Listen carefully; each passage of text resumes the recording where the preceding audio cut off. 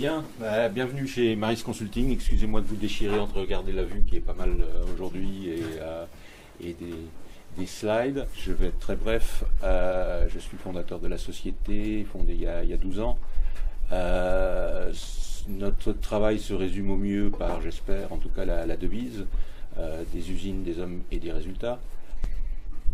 Euh, Du coup, Philippe s'est présenté, je vais me présenter. Donc, Julie Riquet, je suis senior consultante chez Maris Consulting. Je pratique euh, le lean, la performance industrielle depuis euh, bientôt 5 ans. Eh ben moi, donc, euh, je suis responsable performance industrielle chez Eurocryospace. Euh, Je pratique le Lean depuis une douzaine d'années, et dont 5 ans sur le site des Mureaux et à fabriquer des fusées, comme, dit si bien Philippe. Donc Eurocryospace, c'est la fabrication des réservoirs cryogéniques et des équipements associés pour le lanceur Ariane 5.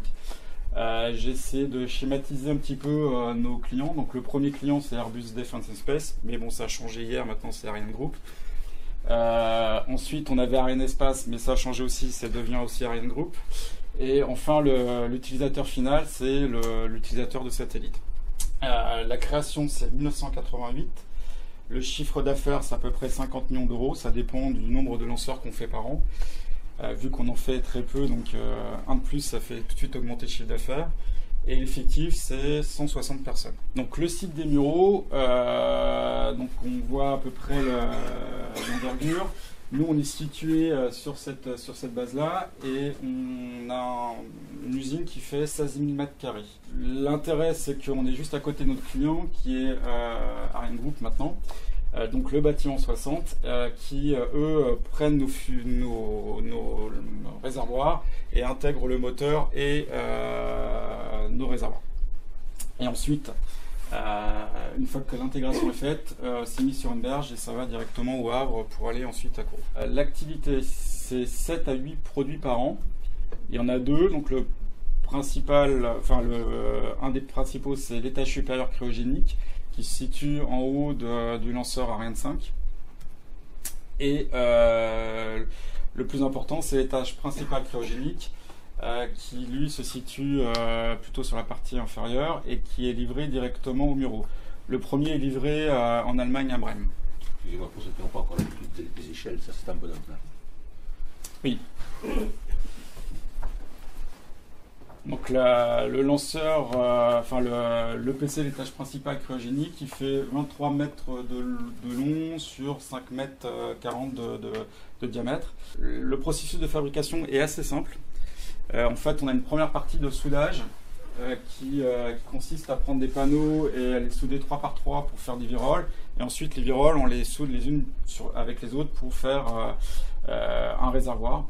Euh, il y a une petite particularité, c'est un fond commun qui est assez compliqué quand même pour, euh, pour, pour la soudure, ce qui nous cause assez de, problèmes, de soucis, mais on en parlera tout à l'heure. Une fois qu'on l'a soudé, euh, on l'isole. Donc là, on vient poser euh, des panneaux sur, le, sur le côté. On le peint et puis ensuite, on vient l'équiper intérieur et extérieur.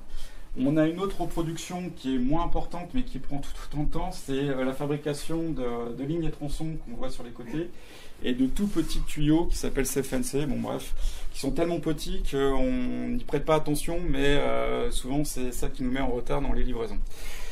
Voilà. On en parlera après aussi. Le contexte. Alors, euh, on a une capacité de production historique de 6 à 7 réservoirs principaux par an en moyenne. Euh, pour un besoin qui a augmenté euh, à 8 euh, réservoirs par an. Le site ne respectait pas les dates de besoin client et décalait constamment ses engagements de livraison. Et en plus, on a eu un très gros problème en 2016 euh, qui nous a provoqué un arrêt de production de plusieurs mois. Donc, ce qui a aggravé notre, notre retard. Là, je vous fais un petit peu le contexte du marché des lanceurs. Donc, avant 2014, Ariane 5 euh, était leader du marché. C'était plus de 50% de, de marché sur les lancements dits commerciaux. Euh, on a été créé en 88. Pendant 20 ans, tout roulait jusqu'en à peu près euh, 2000, euh, 2012, où là, on a décidé de, bah, d'augmenter la, la capacité de l'étage supérieur, qui est l'étage cryogénique qui est fait à Brême, en, le- en le gonflant un peu pour donner encore plus de, de, de masse à emporter sur, sur le réservoir. Et donc ça s'appelait le programme Ariane 5 ME. Donc ça c'est à peu près en 2012. Et arrivé euh, en même temps, euh, en 2014, euh, un nouveau concurrent qui s'appelle SpaceX, qui a changé complètement la donne. et puis il y a eu aussi la montée en puissance des Chinois et des Indiens. Alors j'en passe, il y en a d'autres, hein. il y a les Japonais, etc., qui se sont mis aussi à fabriquer leurs lanceurs. Euh, et là, euh, il y a eu un moment de, flottement dans, la stratégie euh, d'Ariane, enfin d'accession à, l'espace pour l'Europe. C'est qu'on hésitait à continuer sur un 25 ME ou à faire de l'Ariane 6. Et donc, brutalement, ils ont décidé, à juste titre d'ailleurs, je pense, d'arrêter le programme Ariane 5 ME. Pour nous, ça a été compliqué parce que, en fait, c'était une partie de notre personnel qui travaillait sur ce projet depuis deux ans qu'on a dû arrêter aussi brusquement. Euh, donc, ça a aussi amené certaines euh, tensions internes euh, de repris au space. Donc, la réponse de la filière Ariane face à la concurrence, c'est une nouvelle stratégie commerciale.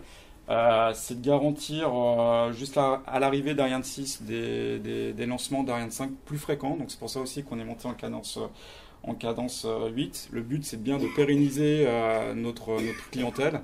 Euh, en attendant de développer Ariane 6. Donc pour nous, 2015-2016, on a eu des changements en interne, puisque Ariane Espace à l'époque a mis en demeure tous les sous-contractants de rang 1 de faire une réduction de prix de 5%.